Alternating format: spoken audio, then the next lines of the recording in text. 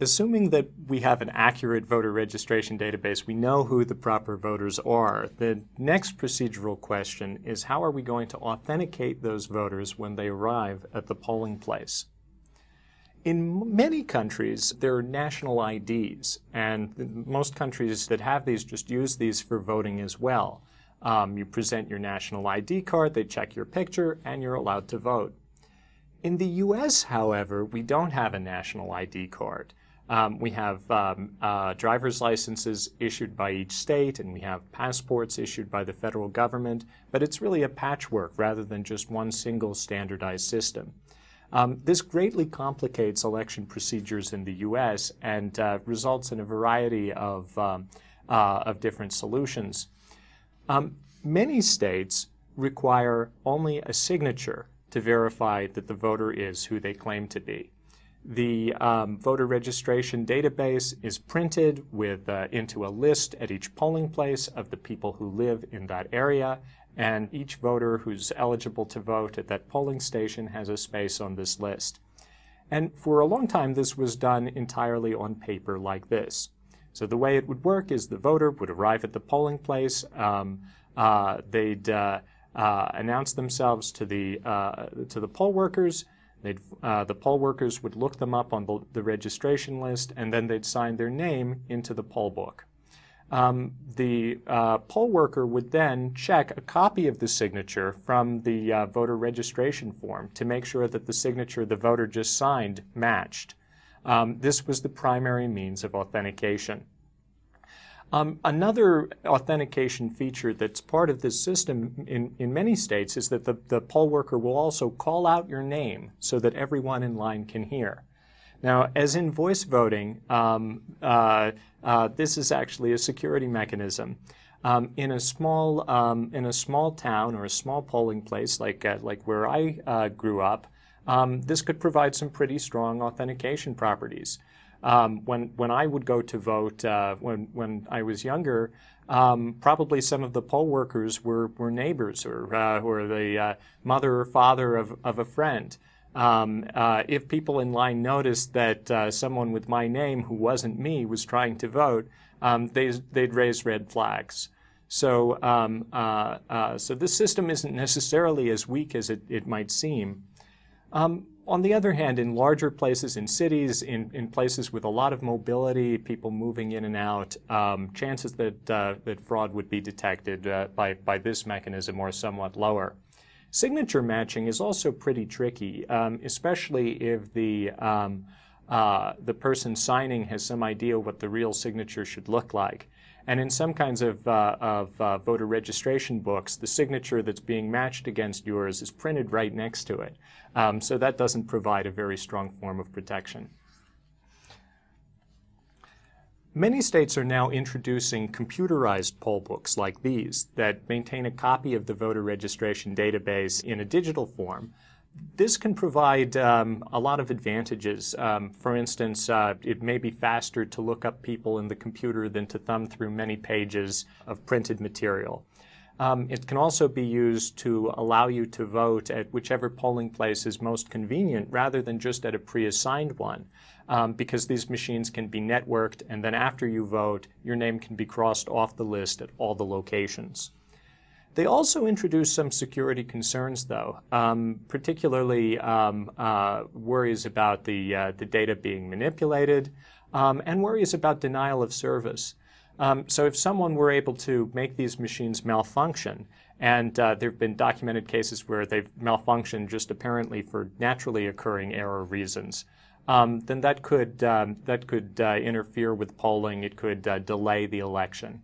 Um, so attacks against them are possible, although it's certainly not as severe a threat as uh, we have to be concerned with with DRE voting, for instance, um, where uh, uh, someone uh, attacking the system could directly manipulate the votes.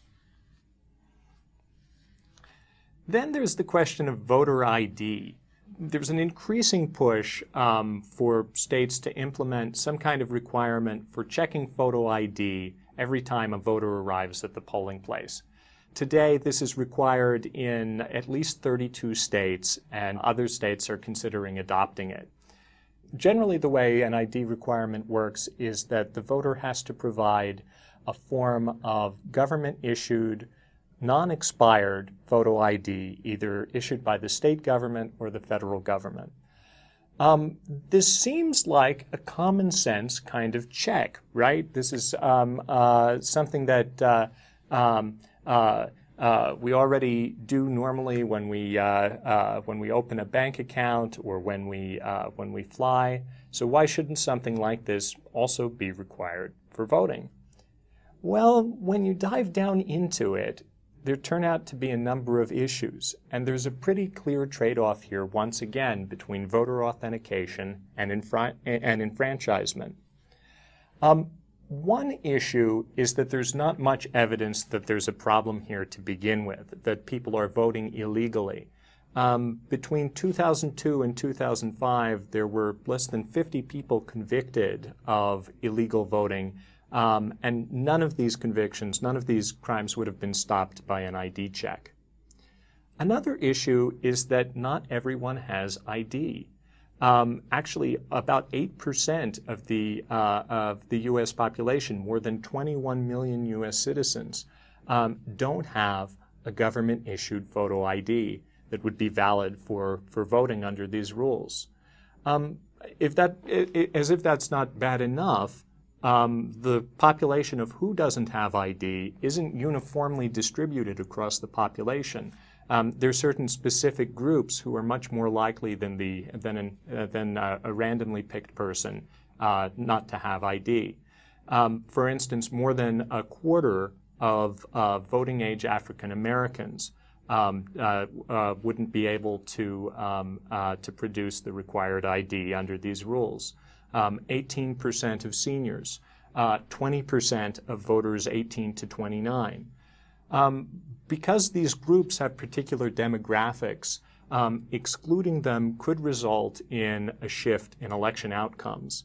And for that reason, ID requirements um, uh, have the potential to be imposed or opposed for political reasons, because um, the, uh, the parties in power fear that um, adding these requirements or removing them um, would, uh, uh, would cause a political shift to their, to their benefit or, or detriment. Um, so the, the political issues are complex, but uh, the, to, to return to the security question, will voter ID even be effective? Um, and I think if you um, if you talk to any college student, at least in the US, they'll tell you that one problem with voter ID is that getting a fake ID is as easy as going to a website. There are many places online where you can just go and purchase for uh, relatively little money um, a quality fake ID. Now, um, uh, bars, clubs, places with professional uh, bouncers who every night are required to, uh, to check IDs even they have some problems spotting fakes. So if you take volunteer poll workers who have probably just a few hours of training for how to look at IDs, um, if any training at all, um, I doubt that they'll do any better a job. Just catching people with fake IDs is not um, yet uh, uh, uh, a, a, very secure way, uh, a very secure um, uh, possibility, uh, even if we do have an ID requirement in place. Some other countries have a very different, much, uh, uh, much lower tech, but still possibly effective way of, um, of combating multiple voting that doesn't require any ID check at all. And that's as you see in this picture. Um, when you vote, you'll have the tip of a certain finger placed in a jar of ink, uh, of um, so-called indelible ink, which won't be able to wash off for a number of days. So this indelible ink um, will be a good countermeasure to multiple voting so long as poll workers check to make sure there's no ink on your finger the next time uh, you show up at the polling place. So this potentially um, uh, is a pretty good security system, except uh, for, for one thing, which is that the, there's no ink that's truly indelible. Um, chemists will tell you what the appropriate solvents are to actually remove it. Um, but in places where that access to that kind of material is difficult or where, where there's not a well-organized campaign of multiple voting, it can still provide some pretty good protection. One interesting thing to note is that in some countries, um, uh, this creates a voter privacy problem because the mere fact that you voted could get you in trouble, could, could cause you to be coerced or attacked. And one solution that certain countries figured out was that they could use a kind of invisible ink, ink that only uh, showed up under, say, UV light. Um, so that's a, a, kind of clever solution to, uh, to increase the amount of voter privacy that's provided by, uh, by indelible ink on the finger. Looking ahead, um, maybe we can find some higher tech um, solutions to this uh, voter authentication enfranchisement trade-off, at, at, least for countries like the U.S., um, where not everyone has ID. Um, I wonder if we could add other um, identifiers to the voter registration database, things like biometrics, um, a, a, fingerprint scan or an iris scan, um, or even just a photograph of the voter could be added to the registration database. Now, these would create further privacy problems. There's still a security privacy trade-off. And there may be logistical impediments to collecting these kinds of authenticators when people register. Um, but uh, with the shift to computer poll books, um, there certainly seems to be an opportunity for voter authentication that involves more than just a signature, um, but doesn't require the voter to actually have anything they're carrying with them except for their person.